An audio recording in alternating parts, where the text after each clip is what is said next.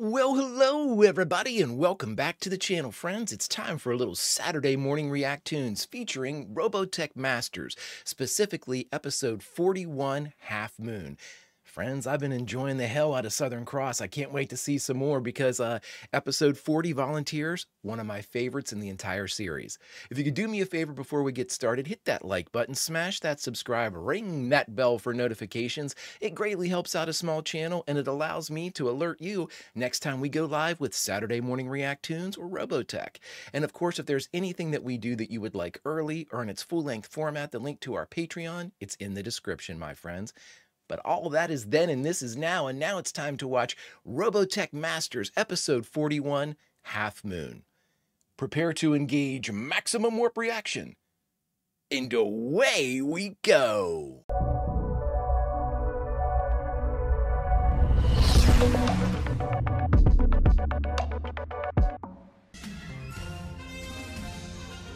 Fanfare! It's a little weak. My voice is shot. I am a so far. Let's let's preface everything, everybody. Let's so far the Southern Cross leg has been really good, and uh, I have enjoyed Dana probably more than I should because uh, a lot of my friends that I have talked to that have seen us before, whenever I say that ah, I really like Dana, I get a look of who are you and what have you done with our friends. So I don't know how you all feel about Dana. I actually really think she's a good representation of the child of Max and Miriya. I think that is a very realistic personality for uh, our heroine. Plus, I like her. I think she's badass in the mech. I am a fan of the hover tanks too, which apparently is a point of uh, debate. I like them. I mean, that spiral corkscrew shot where they go from half mode into uh, Guardian is pretty badass. Battloid into Battloid, I guess. Dana Sterling and Bowie Grant are on a routine night right, patrol Bowie. in the vicinity of what was once New Macross City when they are cautioned against approaching. Really? We're in Macross City? Okay, let's go. Hold it. They're not wearing their full gear. Why aren't they in their tanks? Lieutenant, I don't know what it is. And I'm not all that anxious to find out what it is either. Hmm? Oh, just a joke, Lieutenant. It wasn't funny, Private. Well, I mean, I'd be the same way. I'm with Bowie. What are they doing here? They look like spotlights, but obviously that's not what they are. There can be no mistake. These primitives have attempted to disguise the protoculture with a radioactive substance. There's our, our red ace. Lieutenant, bioroids! Shut up! Keep your head down or they'll spot us. I sense an enemy presence. Oh boy. You guys gotta go. These are full on battle or uh, bioroids. From this area, it would be advisable to have a look. Oh my god, we see the pilot! Well, whatever it is, it's my guess that that character's in charge of the whole operation. Oh wow. There they are. Do not attempt to escape. You will remain where you are. Are they Oh, they are spotlights. Okay, so question real quick, friends. This is we're getting good. Uh, he, uh, he was talking, but there was no mouth, or they were talking. The the Battleroid, uh, Bioroid pilot. Is that just was that like a mix up in the, the the graphics, or did or is it like a mental like telepathy type thing? They are screwed because these Severely Bioroid outnumbered and unable to understand. those chariots are fast. They choose the only course open to them. Thought of escape disappears. As soon as it becomes apparent the invaders are not bent on capture, but destruction. Good narration. Hey, Lieutenant! Yeah. On my signal, we both open fire. You got it! Woo! You have very little chance here. I appreciate your bravery, Dana. I take it back. My hover bike's out of commission, Lieutenant! Make a run for it! Save yourself! Oh, Hang on! no, no, no, Dana. They'll.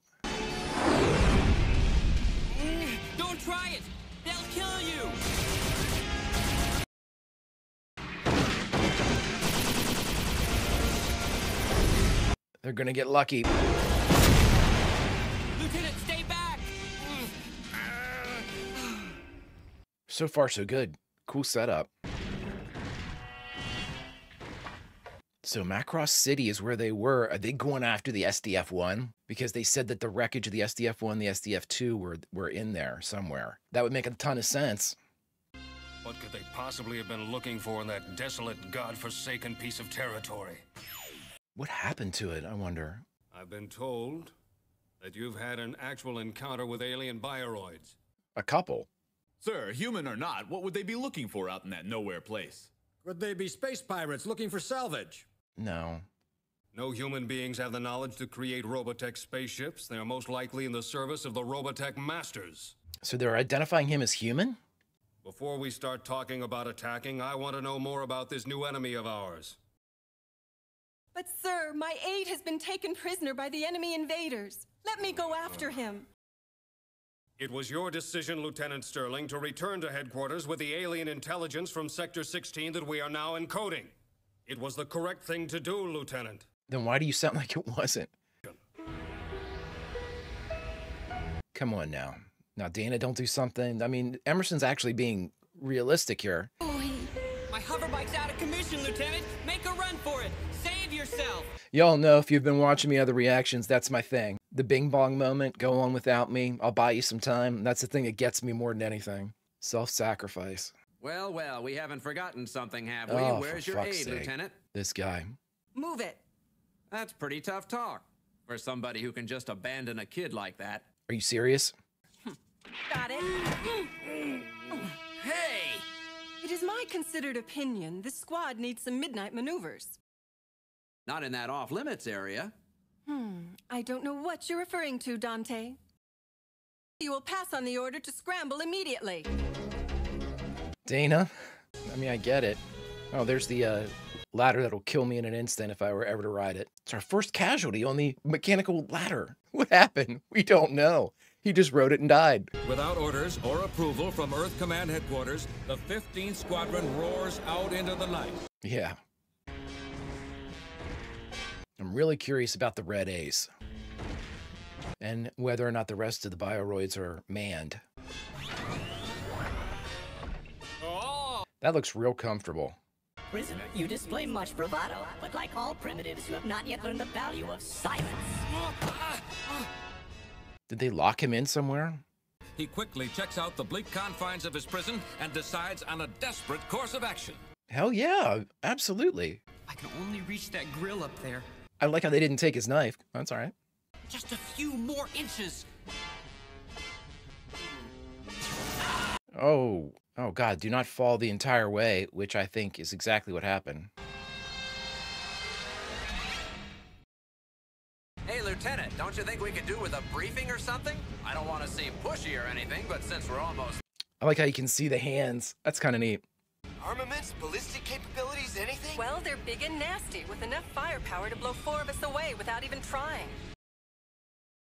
Well, I guess I've done it now. Committed an entire squadron to a rescue attempt without orders. I'll probably be court-martialed and shot. Well, maybe not shot, but court martial is definitely on the table. And we're no closer to a solution than we were before. Do you see how many cigarettes I've smoked? But we don't know what they're after. Or why. Well, there's only one thing to do in this situation. You have a smoke? The only thing in that old wreck is useless, rotting robotechnology. Well, one man's junk is another man's protoculture. I'm just gonna shove protoculture into this saying. All units proceed to Sector 16, Northeast Quadrant. The cool thing is, is like they'll already be there. Hmm. There may be eight bio- Oh, nice. When do we attack, my proud beauty? Undaunted, we advance to serve the principles of freedom. Through shot and shell, here we go into the mouth of hell. I like these guys. All right, let's move out. Watch it, Lieutenant! Up there! Good shooting. Okay, let's go. All right. I am really digging the ground warfare in this.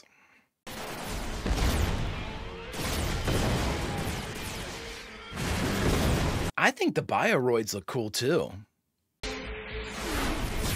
Units 3, 4, and 5, you cover the lieutenant's advance. I mean, uh, tactically, I it, it's really cool. Louie, what's the matter? Are you hit? Answer me. Nah, I'm okay. Did he get hit though? Ever since Roy, I'm uh, gun shy when somebody says they're all right. Woo! That clown didn't know it. Ooh, splash one. What did I do to deserve this? Huh? Now what's going on? I go from liking and loathing Angelo. Move in now, Lieutenant. We'll keep you covered. Yeah, we see like him. In that moment, a flash of recognition passes between the two adversaries. it's because it's eerily similar to her parents. Get some time. Come on, let's do this.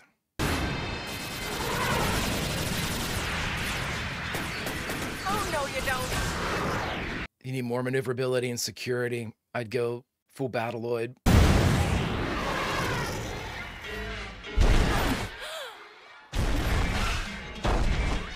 Oh my god. Now I gotcha. Nice. I'm tired of fooling around.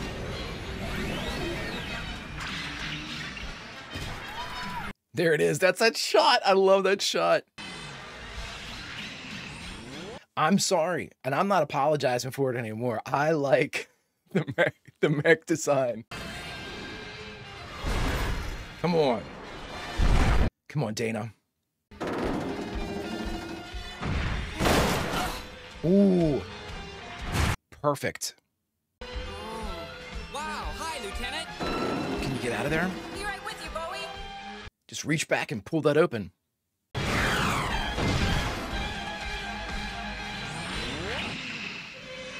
That's it. Why do we see that three times? But whatever. Ooh. Did she hit him? That's where his little thing is. It's just too narrow, Lieutenant. Stand back. Or stand more than a foot. Bowie, don't stop on the enemy. If you need a good character witness, I could appear for the prosecution. What am I laughing at? I probably will end up in the stockade. Come on. Well, it seems that Lieutenant Dana Sterling mobilized her squadron sometime last night and performed the rescue on her own. Lieutenant Sterling, you say?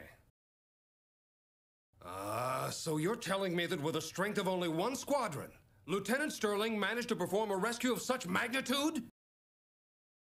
The enemy troops are regrouping for a full frontal assault. And what's their strength?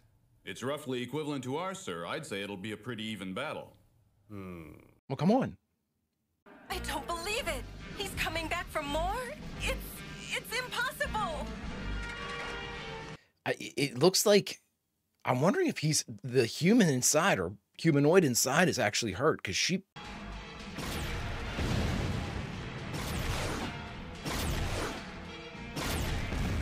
Was that like long range artillery?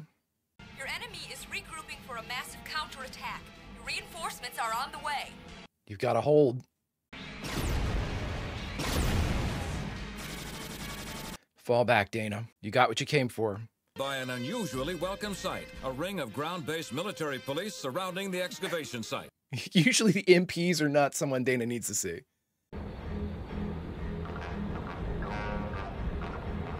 Holy shit.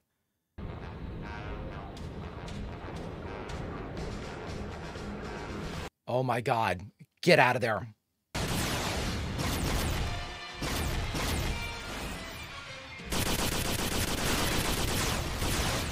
You're going to need air support ASAFP. Oh my god. Troop carrier, get out of there. You're too exposed. Yeah, fall back, everybody. Oh, oh my god. Come on. They're retreating. I, I do the same thing. Maybe not hop, but. Oh my god. Are they being drugged towards that beam or is it just like a shockwave?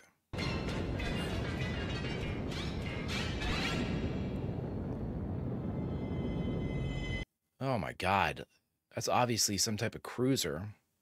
The huge advanced command ship of the Robotech Masters rises slowly into the air, carrying not only the alien bioroids, but their strange commander as well. And why do I think I know him? Somehow I have a feeling that we haven't seen the last of them. We'd better be prepared for a fight to the death, because if we aren't, the only thing we'll have ahead of us will be a life of slavery. We just got done watching Robotech Masters episode 41 Half Moon, and the only thing left to do is to talk about it. All right, everybody, we just got done watching Robotech The Masters or Southern Cross episode 41 Half Moon. Friends, I, I mean, I, again, I, I feel like I, I, am constantly apologizing for actually liking something. I have just been given so much kind of like foreshadowing, like, you know, um, and again, it's it's nothing spoilery and it's nothing that's really like being down on Southern Cross. Um, just ever since I started Macross, everybody was like, ah, you know, I like the first and third legs. The second one's kind of weak. And so I guess it, you know, and again, it wasn't anything like super like negative, you know, people, I don't, uh, people don't care for the mechs, um, you know, that type of stuff. And then you just kind of hear, I had a lot of comments that came in that again, in in their individual comments weren't anything bad at all. It's just kind of like, hey, I like three better than two, um, you know. And then you know, so people are like, ah, I liked one and three. I, I wasn't a big fan of two. All those I kind of added up like marbles in a in a glass. And at the time, whenever I started, I you all know, whenever I was watching Macross, I was like, oh my god, am I gonna? This might be bad. You know, I hope I'm as into this. I don't want to have to like slog through this to get to the third part. You know, okay, from now on, I'm not saying any more about it. I am it's you know, episode 41 already. We had several episodes under our belt. We've we've met I'm assuming most of the principles or at least the initial principles for the the series. I love it. I think it's great. I think it is every to me to this guy, it's every bit as good as Macross. I'm as engaged as I was in uh, the Macross kind of like outside the battle relationships and character building. I think it's really good. I think, and again, this is pure speculation on my part. I'm wondering if, you know, as a kid, I was trying to think, you know, if I was a kid and I watched this, I know I would have liked Macross. And as a kid, I'm looking at this, I'm like, would I have liked Southern Cross? And I thought to myself, yeah, I absolutely would have.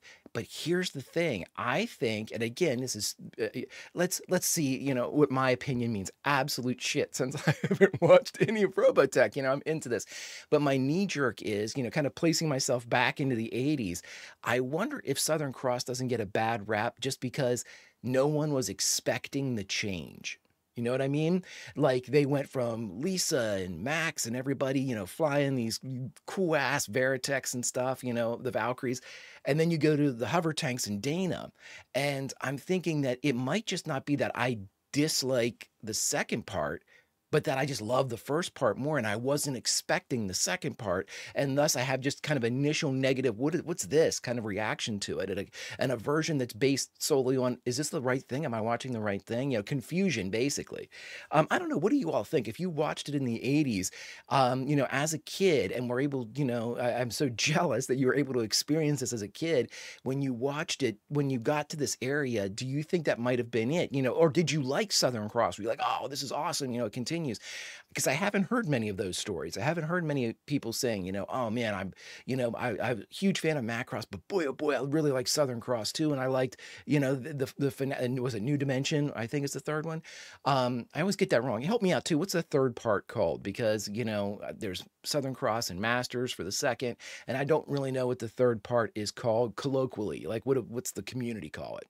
It doesn't really matter though, because, you know, I, am very, I'm, I'm just, I'm happy everybody. And I'm not going to say anything more about uh, liking Southern Cross unless I don't like it at some point, which I'm sure we're going to run into stinker episodes. You can't make this many episodes and not have stinkers. But so far, I have been really invested in everything. And again, I think it might also, you know, our, our chief protagonist is Dana. So I think that if you if you initially have a dislike for Dana, that this is going to be a tough sell because Dana's Dana's quirky, you know, and again, I don't think it's quirky to the point of being uh, not honoring Max or Miriya. You know, having her be awesome behind, you know, her hover tank and being able to take on like the Red Ace and stuff like that. That's awesome and completely expected. I mean, she, again, I mean, genetics, you know, fighter pilot stuff, you know, I, we're not sure exactly, you know, what will matriculate down to Dana, but let's just say that she's got, she's, she may be better set to be a, a great ace than some other people with a less noble lineage as Max and Miriya, right? But um, you know, I, I really do like Dana's character, and I like the kind of even though there's kind of like those, "Oh, maybe I am going to the stockade. I can live with that stuff, you know, from here to the, the cows come home. But um, you know, I like the rest of the people. You know, I like I said, I go from liking and loathing Angelo, which is perfect for me. That's fine. You know, it gives me somebody to to bust balls with and somebody to praise when I really like certain things that they're doing. Um, you know, Bowie, Bowie seems to be a really good compliment to Dana as well. I, I, I enjoy that in a weird way. You have kind of that that different kind of uh, emotional quality that you similar yet different that you had with Max and Ben. You know, they both kind of were carefree a little bit, but they had very different approaches to being carefree. And I feel that way too about Bowie and Dana. You know, Bowie Bowie has a bet. I mean, Dana has no fear, and that's a problem. I mean, she has fear for like being in the stockade, but she doesn't have fear for like rushing into an enemy established base, you know, um, which is awesome. I just think that, you know, when she's behind the, the controls of her hover tank, you know, I have yet to see her get upset.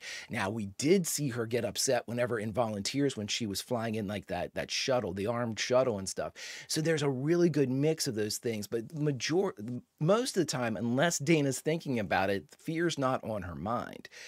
And I love that. I think it's so good. But, you know, Bowie does. Bowie does think about it very similar to Ben. Ben was, you know, tragically sort of aware of the terminal nature of the job that they were on. You know, even when he kind of offhandedly would not joke about, oh, I hope we make it back, you know, things like that. And, Ben uh, eventually didn't, leaving that steak uneaten. But you know, I'm again, it's a similar relationship, a similar supportive relationship between the two. You know, they're very good friends.